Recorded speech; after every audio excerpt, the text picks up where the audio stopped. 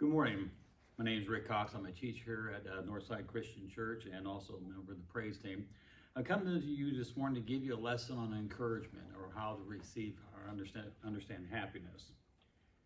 I was raised by my grandma, and my grandma always taught me one thing. It isn't the outside who's going to make you happy, it's what's on the inside. So many times we look to things on the outside to make us happy. At this time of civil unrest and all the things that are going on in our country, we look towards the outside, things to make us happy.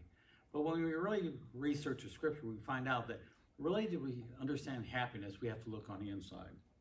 There's a passage my grandma used to read every day, and I thought it was kind of silly. I didn't know what passage it was for a long time.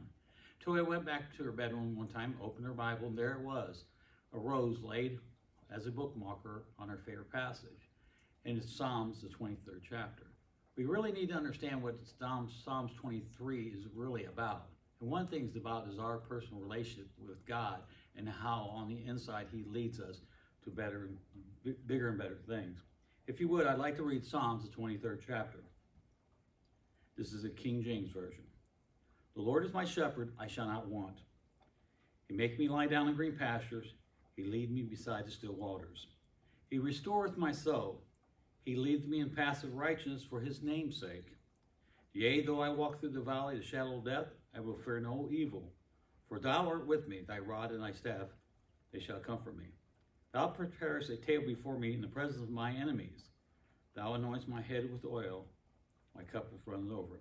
Surely goodness and mercy shall follow me all the days of my life, and I will dwell in the house of the Lord forever. If you notice in the first three verses, how many times the word He, He referring to God, and what He does for me, and how He makes me happy or content with my life. He maketh me, He makes me to lay down in green pasture. He, being God, leadeth me to the still waters and he restores my soul. He lead me in the path for righteousness for his name's sake. Notice there, all the things he does for me, my relationship God, on a spiritual level, all those things that may be surrounding me in my life, doesn't matter except my relationship with him and letting him lead me. It says, Yea, in verse 4, Yea, though I walk through the valley of the shadow of death, yea, I walk through the valley of death, I will fear no evil. All the things that may be around me are not going away. He's going to do it. I can don't have to worry, even though I fear, for God is always with us. His rod and his staff comfort us. Thou preparest a table before me in the presence of my enemies. Thou anointest my head with oil. My cup is runneth over. Even though things are bad around me, I know it's going to be okay because he is with me. And lastly, one thing I can look forward to Surely goodness and mercy shall follow me all the days of my life, and I will be with God forever. We need to stop and pause and think of all those things around us that are making us happy or content. What are they? Money, uh, civil content, everything's going right civilly around us.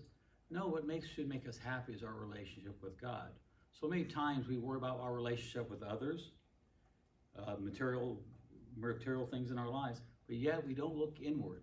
There's a Christian song, and it says, Lord, change me from the inside out. Jesus spoke about this. It wasn't bread that corrupted man, it's what's on the inside that comes out. So, if I had one message for you today, it is in Psalms 23. Always put your trust in the Lord, and you surely goodness and mercy will follow you the rest of the days of your life. Thank you.